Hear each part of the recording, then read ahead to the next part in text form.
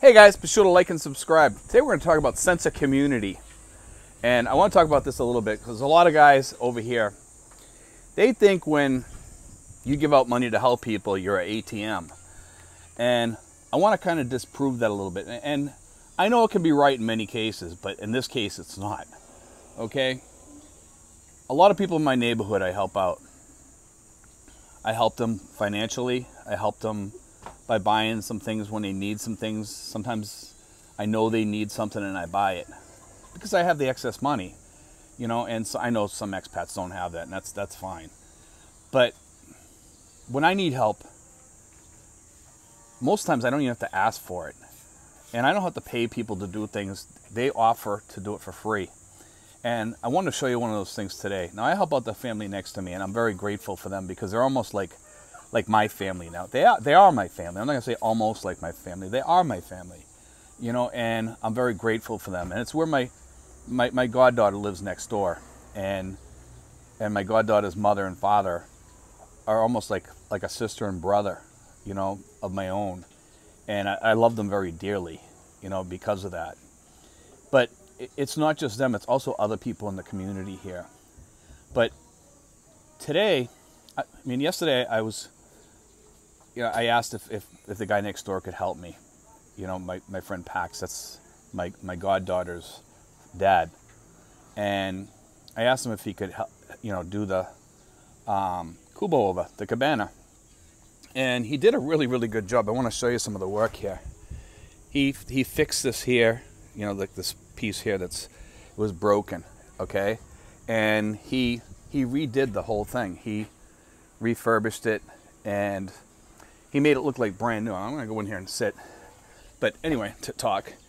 And he made the whole place look like brand new. It's all revarnished, everything. You know, and it was like it's that's a substantial help to me when you know somebody helps me and I help them. But a lot of people don't give the Filipinos that credit, and I hear a lot of people they throw out these remarks about Filipinos make uh, for, turn foreigners into ATMs and stuff like that. And it's just simply not true. There are girls out there like that. Don't get me wrong. I, I hear from people like that all the time. But they're, they're the minority, okay? They actually are the minority. Some people will have you thinking that every single Filipino is a, Filipina or Filipino is a bad person and they're out to rip you off. And it's just simply not true. When you, when you get over here and, you and you're in a good community, an average community. I'm not talking about a squatters village or something like that because you probably you, you might have more problems in those areas and I'm just guessing. Okay, I'm not giving you my uh, you know proven thoughts on that. You know, I, am just guessing from being around those areas before and, and walking near those areas. The people tend to ask you for money. You know, and and just because they see the color of your skin, they see that you're a foreigner, and they're probably going to hit you up for, for more money. But I don't know what it would be like living there. Okay, I know there's expats that live in those areas, and some of those expats are on very low budgets, and that's by choice. You know, that's that's their that's their thing. You know, and I'm not knocking those expats or anything. You know, they they want to live in those areas. That's fine, but one thing I, I notice here is is the sense of community, and everybody kind of helps everybody when there's a need, and I've always noticed that around my house is whenever we need help everybody steps in and helps. You know, if we need to move something, whether it be the cabana or whether we need to fix the cabana, everybody jumps in and fixes it. And they find the things to do it too. All I had to do the other day was buy the varnish and somebody did it. You know, and we as a group, when, when I bought this cabana, I didn't buy it just for our family. I told everybody that lives in this apartment complex, feel free to use it. That's what it's there for and everybody uses it. It's kind of like a community spot now. It's like our own little village or city here, kind of, and it kind of is like a great co- little community. And and some people say, well, you live you live in a small apartment or whatever and stuff like that. But we, we actually have two apartments here, like I said, and one of the apartments, the one we live in, has one bedroom divided into two because the bedroom was a huge bedroom. Okay, it's the only apartment that has a huge bedroom. But I mean, everything we do here you know, we always get help. And we also chip in with like food and help out and stuff like that. Or we look after, you know, the um, our godchild, things like that. And I must say that every time that I've helped somebody here, I always get some help back. You know, it's it's kind of like you know, you you you give it out and and they give it back to you. And a lot of times I just tell people to pay it forward when, I help people like on the streets or something like that. Help other people. And sometimes I'll like I like I said before, there was a lady up in Manila that I helped and she helped her neighbor across the street and they got an apartment together. And I, I thought that was really great because she she was so proud that she had helped that lady, you know, and, and I was so grateful that she had paid it forward. And I got to and I was so grateful that she introduced me to the lady that she helped because I got to see that pay it forward, you know, at work. And it was kind of a neat thing. We've talked a little bit about I, I've told about this lady before. But I mean the community thing here runs so deep and the Filipino people are so big-hearted that it, it's just an incredible thing to experience here when you're living here. And let me get more comfortable here. And it, for for me, it's made me feel like a part of the community. And when you come over here, you want to be a part of the community. You want to be accepted. You know, because if you're not accepted here, why would you want to be here? You know? And for me, I feel more at home here than I do back in the United States. It's it's become a part of my life to be to live here and to and to feel accepted. I, I don't I don't get in arguments to, with people about politics. I don't get in arguments with, with people about any of the crap that's going on back home in the United States.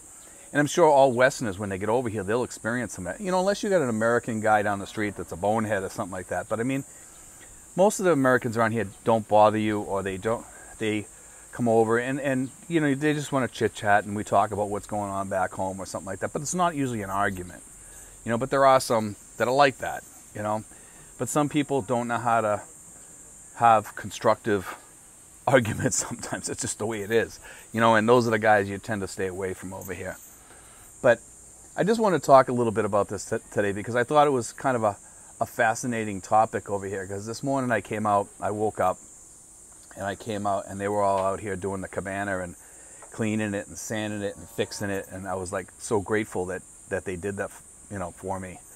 And you know like it's it, it's kind of like quid pro quo sometimes but it's not like quid pro quo because even if I didn't give them things I'm sure they'd help me do things around here because they're just that type of people but I do like to give them stuff too to help them you know have an easier life because they make my life easier why wouldn't I give them an easier life. It's just part of what life is about. It's about being human, you know. And for me, that experience over here has really made me feel loved, you know. And I think as as as a human coming over here and as an expat and leaving all your stuff behind over there, your family and everything, it's good to have that sense of, of, of being loved. You know, it's, it's a great, great feeling having that. You know, and it's probably one of the most the, the things I'm most grateful for in the Philippines. You know, I mean, my girlfriend takes care of me. She looks after me, and of course, you're going to take care of your family over here. I had somebody comment the other day that that my family is a rental family. You know, and it, it kind of puts like that that whore tag on it.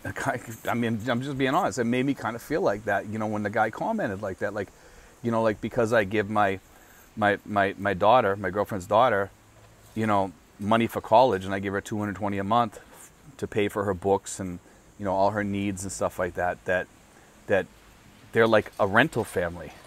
Now, who who doesn't give money to their family? You know, I mean, if, if an American held back their money from their family and says, "Hey, you know, you're not a rent, uh, you know, you're not a, a rental family, you're a regular family, so I'm not going to give you money. What would happen? You know, and I, I always get these these people on here, and it, I think these people are going to be in for a, rude awakening when they come over here sometimes because they're gonna they're they're not going to be able to get a family if they do that over here. Know, because you need to help people over here. You it, you know your family. If you don't take care of your family, most of the women over here are just going to up and leave. You know, I'm sorry to say that, that but that's just the the brutal reality of, of living in the Philippines. It's not not that you're an ATM, it's just part of the family tradition over here. You're expected to take care of the family here, just like you are in the United States or any other Western country, you know. And I think some of these people don't know what a conventional family is, you know. And when you get over here, man, it's a truly, it's truly a, a conventional, real family, because they'll stay with you if you treat them good, and and they'll treat you good and love you and give you that love back. And that's one thing I, I really truly appreciate over here is the, the amount of love that I get from my family. I really appreciate that. And I also appreciate the, the love that I get from my neighbors. I mean, us as a group here in this little community that we have here, I, I tell my neighbors all the time, you know, I love you. You know, like, uh, you know, we have Pax, the, the guy that, that, that does this here, that he, he did all the varnishing here. And I tell, hey, Pax, I love you you know, and he's, I love you too, you know, and I, and I tell his wife the same thing. You know, and we do a lot of things together. We, we have a lot of vacations together. We do a lot of stuff together. We've had a, a little couple of adventures out on the in Manila Bay in a boat, you know, things like that. We, we, we do things together. And some of my best friends over here have been Filipinos more so than they've been expats. I've had probably two really good, maybe three really good expat friendships.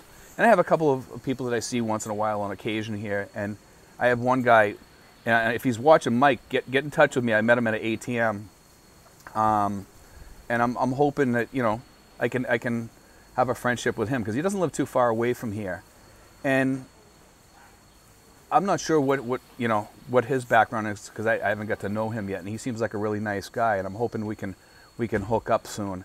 And you know, he, he seemed like a really nice regular guy, you know, and I'm hoping he contacts me because I, I had him in my emails and I can't find him because I got so many emails in there right now. But community here is definitely big, and, and, and the love and affection that you get back from the community is going to be astronomical for you, you know, you new expats. And some communities might not fit you. I'm not saying every community is the same, okay? So don't go into a community and think that you know, oh, this isn't working out. This isn't working out for me. If it doesn't work out for you, you can always go someplace else and start over in the Philippines. And that's the great part about the Philippines is you can just move to the next town, you know, or another barangay or something like that. If you don't like it there, just tell your girlfriend, you know, I want to get up and move. This this neighborhood doesn't fit me, and it might not fit you, you know, because there are neighborhoods like that here. But look around and find a great place to live where you're going to be happy, you know, a place that makes, you know, your heart happy. You know, and when you find that place, you'll know. You'll know. You know, but anyway, guys, I just want to put that out there, you know, and and I thought it'd be like a nice vlog today to talk about because I think community and, and the love and affection of the Filipinos is, is is awesome here. And I think you guys will see the same when you get over here. For all you new expats, and for you for you expats that are already over here or, or, or have already lived here before, you know, feel free to, to, to comment in the comments section, you know, because that helps that helps a lot of the people on here. It helps a lot of the newbie expats understand what it's like over here. You know, and some of you guys have bad experiences. Put those down too. I'm I'm I'm open to that, you know, as long as it's in a in a decent manner that you put it in there. But if you start calling Filipinos names or something, I'm not going to let you on my channel. You know, that's just the way it is. But anyway, guys, God bless. Take care. I hope you enjoyed today's vlog.